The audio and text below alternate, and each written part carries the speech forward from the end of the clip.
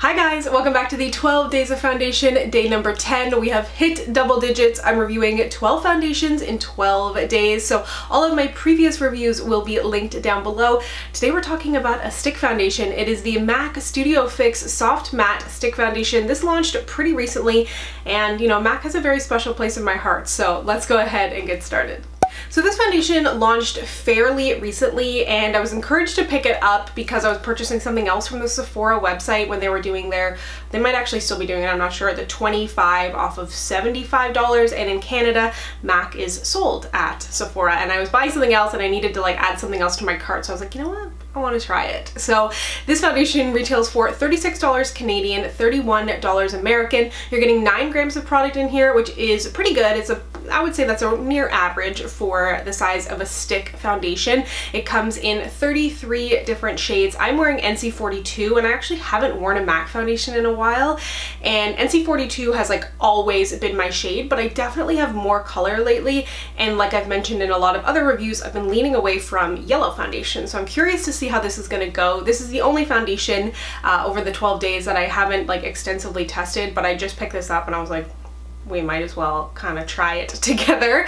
Uh, and I was curious to give this a try. This claims to be, let me double check, matte. Yes, matte, medium coverage. It's a stick, obviously, and for normal, dry, combo, or oily. Something that I really like in the packaging of this for like no reason in particular is the fact that they put the shade NC42 right here uh, in kind of the color of NC42. I don't know, that is just satisfying to me.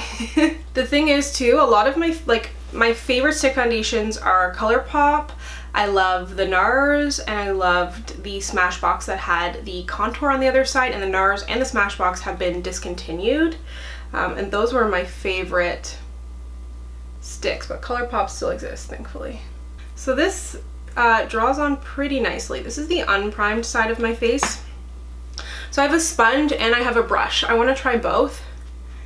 I will say I feel like I would have liked having a primer down. I feel like because it doesn't have a lot to stick to or like to glide on, it's not gliding on as nicely. Um, and people don't talk about MAC the same way they used to. I was actually kind of mortified a little while back because like obviously times are changing.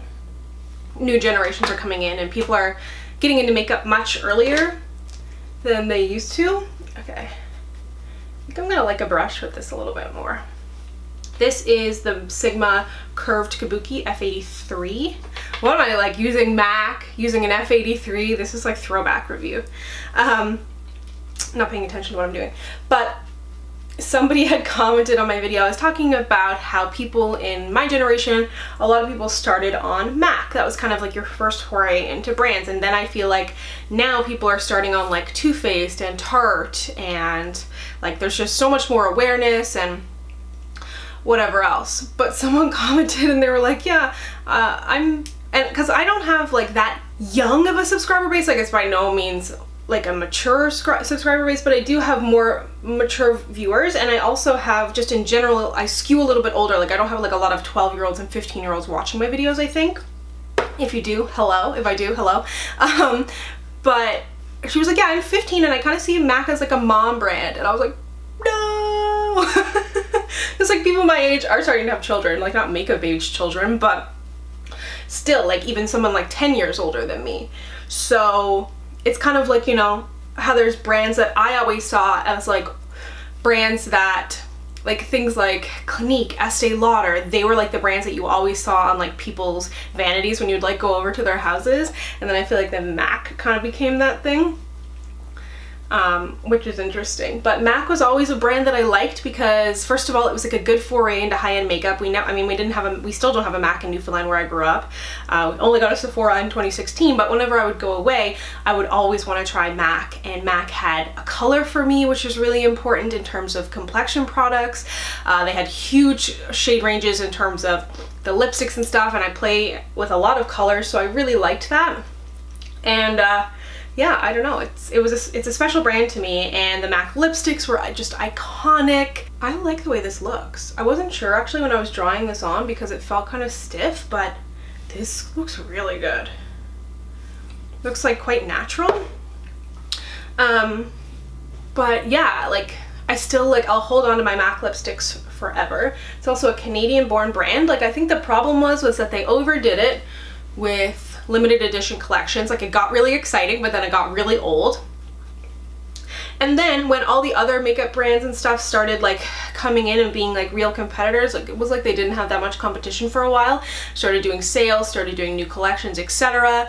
Then they kind of had to change. So I do want to recommend if you aren't part of the MAC Select program, you should probably join that because it's free, first of all, and then they, they'll do MAC Select sales. So especially if you're not in Canada where like you can get MAC on sale, like I got my coupon for this, uh, they'll do 25% off every now and then. I think you can get points, which they never did before, and that's a free program.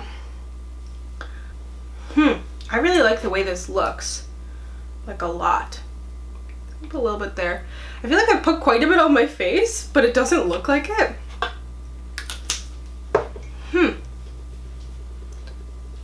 This looks good. And the shade match looks good too. It's not as yellow as I thought. The reviews on Sephora for this were not good. I feel like this is less yellow than the NC42 I know. Because I was like, what if I'm not NC42 anymore? That's literally my identity as NC42. I used to say that in all my reviews. Now I just like list it below because I figure like not as many people are wearing MAC anymore so it's not as relevant but I am very very happy with this. I think the coverage looks beautiful. Uh, I think if you have a drier skin top type right off the bat I don't think this is going to be something that you would enjoy unless you put like maybe a primer oil or something down before. Who is there? Hi Rubos. Rue. Everybody loves a Rue cameo. You look so beautiful in the ring light. Do you like this foundation? It's like one America's Next Top Model when they used to make them pose with animals. Come on, bro. Find your light. Mm. Okay. Be free. Oh! she jumped off and then knocked my beauty blender and then the beauty blender came after her and knocked her on the head. You okay? Do a story time. I was attacked by a beauty blender. Anyways, I don't even know where I was. I got so distracted. But I love the way that this looks. Oh yeah, like if you have dry skin, I feel like you're not going to feel that creaminess you might hope for but for me when I used a brush it blended out like a dream I definitely didn't get a ton of coverage though uh, and I did put I think a lot on my face like it's harder to gauge with a stick how much you're putting on your face but like you saw how much I did. I just I didn't cut anything out. I feel like I drew it on a few times but I really do enjoy the coverage that I got. I think it looks like a really nice kind of light medium coverage. It has like a little bit of sheen to it but when you look up close on your skin it's kind of interesting because it has sheen but I can also kind of see that soft matteness when I get up close uh, into looking at my skin and you can still see like you know, my freckles and stuff coming through. But yeah, I think it looks really, really good. So I'm gonna go ahead, do the rest of my makeup. I was like, took me so long to figure out what lipstick I wanted to wear today because I was like, I gotta break out a MAC lipstick. But uh, I don't know if I've totally settled on one yet. But anyways, I'm setting myself up for disaster because it's not gonna be that exciting it's just gonna be a lipstick color. But anyways, uh, I will be right back. Okay, so I settled on MAC Rebel. I feel like this is a classic. I was in between Rebel and Heroine. I also used a MAC mascara, which I don't have much experience with MAC mascaras. I've got on the blush, one of my favorite blushes from them. I mentioned it in my like videos that uh, my blushes that make great blushes and highlighters kind of combination, extra dimension blush. And then one of my favorite highlighters from them is actually, it was limited edition, part of a Taraji P. Henson collection, but it's the Mineralized Skin Finish in Highlight the Truth. And because the blush is already quite glowy, I just put this on. It's a really good highlighter if you have like textured skin or want something more natural. I'm sure they've got similar finishes in their mineralized skin finishes. But anyways, Back to the foundation, love the way it looks. I love the shade match, I love the finish. Uh, I also thought it looked great in photos here in my studio lighting. I think it looks quite natural on the skin. You can see like my skin showing through. And then in flash photos, I thought it performed quite well as well. I wasn't totally sure how it was gonna go down in flash, but I thought it looked, uh, looked pretty good. So I'm really, really happy with uh, how everything looks and I will continue to wear it and check back with you in some natural light a little bit later this afternoon. Hello, so I just woke up from a Sunday nap on the couch. I did not mean to fall asleep.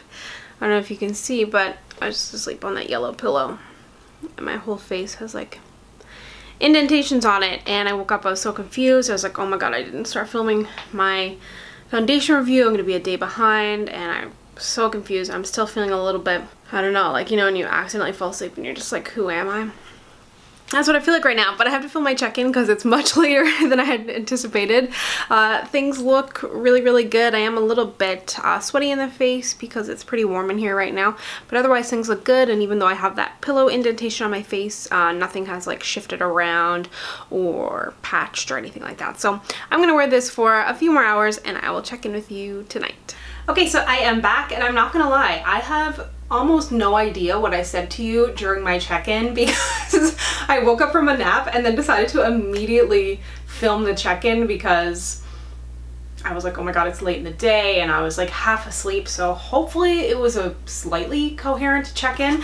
Uh, I am going to touch up. You can see I'm a little bit shiny. I've been cooking. It's quite warm in the apartment. We're actually getting ready to go meet uh, one of Nev's friends just had a baby, so we're going to go meet her. Um, so I've been cooking and doing a little Sunday clean. But I'm going to also show you just how I touch up at the end of the day if I don't want to like redo my whole makeup. So I'm just going to blot. Uh, I think you can see that things look pretty good. Like I almost kind of had this feeling when I applied it that it wasn't going to be long wearing and it was really going to really gonna patch away just for some reason it felt like that but it actually sorry that's the air fryer um, it actually looks quite good. It has not oxidized. I think for something that is part of the MAC Studio Fix line, you would expect it to be more full coverage, but I actually really liked the amount of coverage that I got. So I'm just gonna touch up with the MAC Studio Fix Powder Foundation and generally what I'll do if I'm heading back out is I'll take my under eye powder. So that's my banana powder from, sorry my mirror is over here, my banana powder from Makeup Revolution. Then I'm going to take my MAC Studio Fix powder. But yeah, I think like, I know Sylvia, if you watch Sylvia, she's uh, here in Toronto, she really likes this stick foundation and I think she has more dry skin type. Maybe she's just like priming her skin a lot, but I've seen her talking about this foundation, which was kind of why I was interested in, in it. So she seems to like it. So let me know if you have tried it. So I'm just going to touch up with that powder. And then I'm going to reapply some more of the blush that I had on earlier, the Telling Glow, because this is kind of blush and highlight. And that adds like a little bit of glow and just kind of refreshes things. And I already put on a lip gloss, and that's all I'm going to do. I'm going to spray my face, actually. I feel like sometimes that just makes me feel better. this is the Bare Minerals uh, Dew Mist, which I quite enjoy. But yeah, that's my touched up face. But overall, I gotta say I really enjoyed this foundation. Like I mentioned in the beginning, this was only, you know, like my first time trying it, but I gotta say like it, it, it looked pretty good. I took a nap, I've been cooking, I've been cleaning, um, and I thought it lasted really nicely. The shade match looks really good too. Actually, that's what I wanted to do. I might actually do like a blog post and compare, but I'm so behind on writing blog posts that I just wanted to swatch it next to my Studio Fix Fluid. This is NC42 because I feel like my Studio Fix Fluid and like my other MAC foundations are super yellow, but maybe, maybe they're not. So I may as well just swatch it here and see. And I do look kind of shiny now again because I set it with that spray. So after it sets down, after the spray sets down, I might powder like around my nose again. So yeah, it's definitely more neutral. So on top is the MAC Studio Fix Fluid in NC42 and on the bottom is the stick and the stick is more neutral and that's why I think I was happier with the shade match. So something to keep in mind. Um, but yeah, so not exactly the same, but honestly I'm kind of happier with with the undertone of the stick over the liquid. So I'm gonna continue to wear this. I like this. Let me know if you are interested in this product, what you think about it, if you have tried it. I don't know if I mentioned it earlier, but I feel like the reviews on the Sephora website were not great. And it isn't kind of what I've come to expect from MAC Studio Fix, but it's kind of more in line with the type of foundations that I'm enjoying lately.